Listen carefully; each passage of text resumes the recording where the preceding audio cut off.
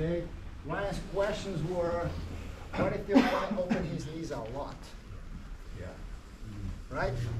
Gotta be careful when you do that, because instead of trying to close, I'm actually open. Can't move. He's trapped on his own hip.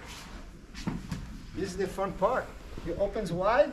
Good, I keep wide. Oh, oh, look he has to adjust and then pass. Do this. Nightly, your partner just open. And see you're stuck. Oh, oh, move, move, move, move. Okay, that's my guard. Whenever somebody goes in and open wide the legs, check his flexibility. yeah, he's there, good. Oh, oh, look at this. He has to change. And I go. All right? Give it a shot, go slow, okay? Not everybody's flexible. One, two, three. Awesome.